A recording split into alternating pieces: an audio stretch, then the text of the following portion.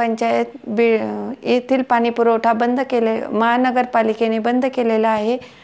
कारण की त्यांनी आम्हाला कोणतीही नोटीस न पाठवता त्यांनी आमचा पाणीपुरवठा बंद केला. आम्ही त्यांना कचऱ्यासाठी विरोध केला होता.